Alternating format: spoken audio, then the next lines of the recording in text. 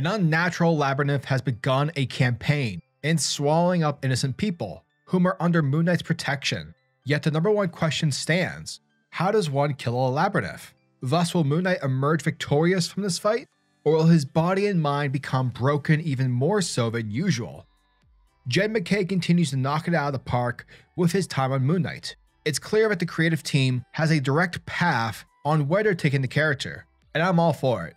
MacKay crafts a dark, disturbing, and deeply enjoyable story in this issue. There are some great character moments for Mark, and I love seeing the twists and the turns with its narrative, as well as the thematic chances that it takes. Now, obviously, it was a major blow to Moon Knight's operation back when Zodiac destroyed the Midnight Mission, but it was also disappointing for fans, including myself, who had quickly grown to love the concept. Therefore, what does writer Jed MacKay do? well, the man goes and delivers one of the most original and probably the most captivating new headquarters stories that I've ever read in comics, and it's perfectly in keeping with Moon Knight's surreal supernatural world. The only fault I will give this issue is the fact that the book is stemming from the idea that you, the reader, have read the Devil's Reign Moon Knight one shot tie in. The only problem is the fact that that book's not out yet.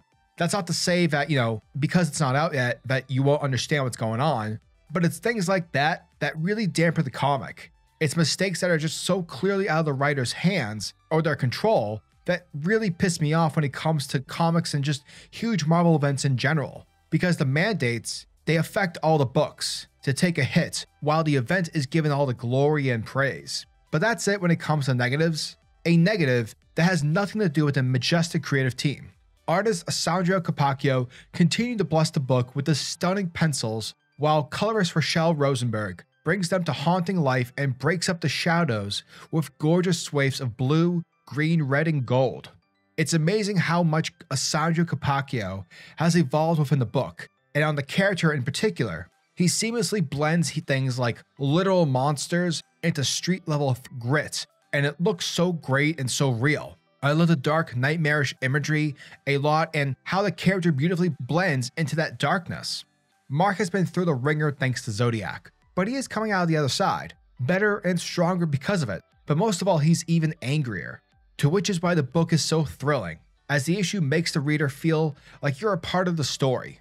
Thus, it makes it feel as if MacKay is pulling you right into the trenches besides Mark. And Cappuccio's art assures you that you're not going anywhere else in this exciting issue.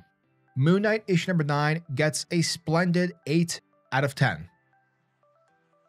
Our story picks up with Moon Knight falling from a window of a six story apartment building, landing painfully on top of a dumpster with the empty alleyway thus swearing to come back with a way to kill an unknown, shadowy enemy who's watching our hero leave from the broken window. Now, this is when we get our flashback scene with some context as to what's happening, where we get some narration from Moon Knight, stating that this all started out like any other mission, with people going missing. Now, obviously, after escaping from the high tech Myrmidon prison, which will be covered more specifically within the Devil's Reign Moon Knight one shot, which is coming out this Wednesday, along with exhausting all of his leads to find Zodiac, Moon Knight has welcomed the return back to normalcy. Therefore, he was glad to take up the case. Now, seemingly according to his research, all three people who had gone missing were last seen in the same place, the sixth floor of an old apartment building. Yet, what's weird is the fact that there's nothing weird about the building itself at least when it comes to horror tropes. Like, you know, there's been no murders, no cults, nor any dimensional rifts located within. The only thing that is pretty weird is that according to the blueprints of the building, there should be only five floors. And so Moon Knight ventures in, and as he wanders through the corridors from time to time, he comes to see the shadows of the people who have gone missing. Yet, no matter how hard he tries, he could never catch up to them. Therefore, Moon Knight theorizes that perhaps the sixth floor has the ability to touch the minds of the missing people, and thus made them a part of it, which is likely why Moon Knight was able to escape. Because when he was weak, exhausted, and just stretched out to the limits of his mental and physical endurance, that's when the sixth floor tried to touch his mind. But that was a painful mistake, because Moon Knight's mind is pretty fucked up. And so the sixth floor screamed in agony, thus allowing Moon Knight to escape via the window.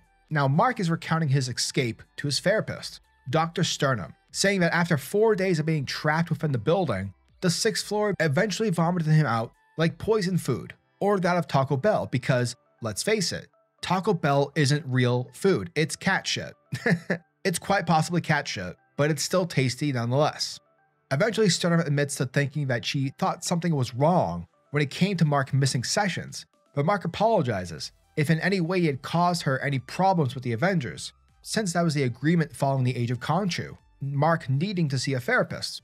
Now, what's interesting is that Dr. Sterman reveals that she didn't report his missing sessions to the Avengers, which comes as a surprise to Mark, because Reese, who can't stop gushing about talking to a real superhero, who notified him that Black Panther had gotten in touch with her as he was asking about Mark's disappearance. Therefore, Moon Knight assumed that Dr. Sterman had reported him. So, two things. This basically suggests that the Avengers are more aware of Mark's whereabouts than they let on. Plus, it's also a reminder that Zodiac, from what we saw in the end of issue number 7, basically is holding the therapist hostage as a means of swaying Mark mentally. Yet, to what specific purpose, we've yet to know. And so Dr. Sterman asks the question whether or not Mark generally trusts Reese and Tigra, or even Soldier of that matter, considering the fact that, you know, he's ex Hydra.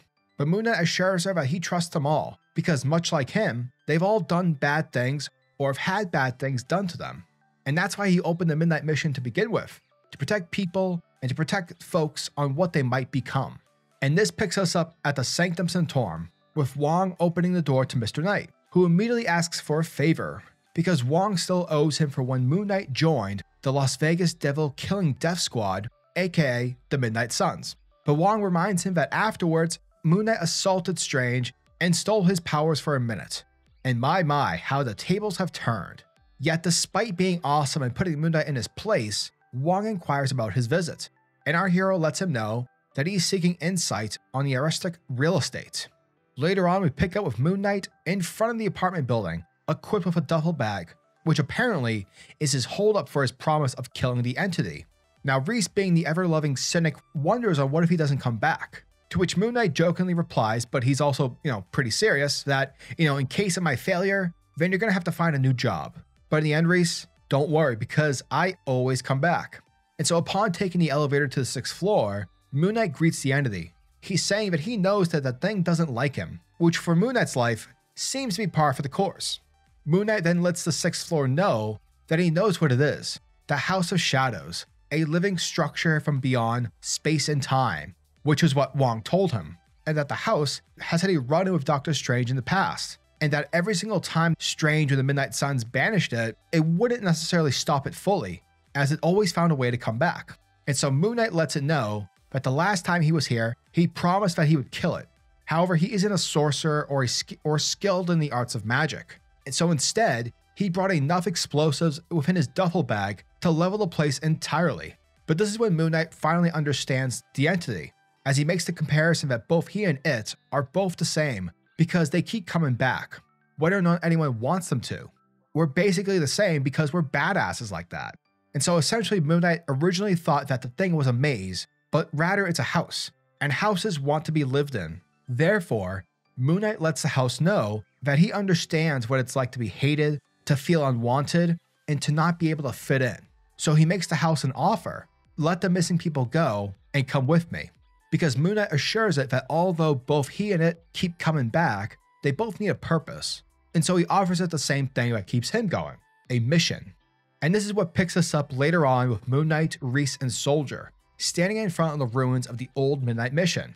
Now, everyone is pretty much confused as to why they're here just waiting about, for like no apparent reason. But eventually, a dense fog takes the area. And alas, Moon Knight asks his friends to welcome to the team the House of Shadows, which will now be acting as the new headquarters of the Midnight Mission. And now with a permanent space to operate out of, Moon Knight lets them know that they are back in business, baby.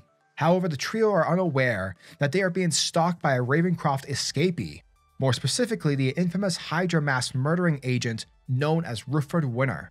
And as he makes his way towards the Midnight Mission, we see that Rufford holds a dead eye gaze set straight for Moon Knight with a pistol drawn at the ready. And that, folks, was the end of Moon Knight issue number 9. And thank you guys for checking out this video, as it truly means the world to me.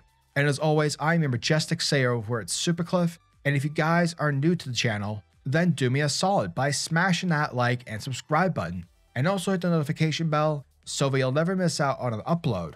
and so that you'll always be kept up to date with your favorite top tier comics happening in the comic book world. Now tell me, what are your thoughts and opinions on this issue?